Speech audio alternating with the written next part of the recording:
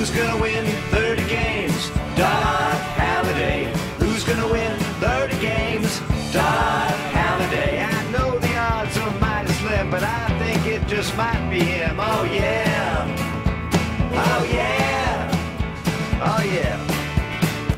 That's right, 30 wins, it's possible. For the Jays fans, not only will Doc's attempt be with the Phillies, but Halladay's one return visit to Toronto has been canceled. In an unprecedented move, next month's interleague series between the Jays and Phillies has been moved to Philly due to security concerns surrounding the G20 summit, which is also being held in Toronto at the same time. No one forced us to move. We regret we had to make this decision, uh, but given what's happening in those three days and uh, the focus that will be on the downtown core of Toronto and the fact that we are situated right next door to them and where the G20 is going to take place, we felt it was in the best interest of everybody to move the game. It's particularly disappointing for very obvious reasons with Roy Halladay coming back.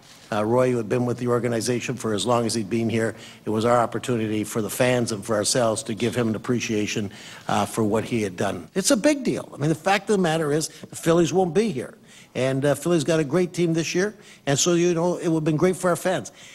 But when we looked at it, it just didn't, at the very end, give us much of an alternative.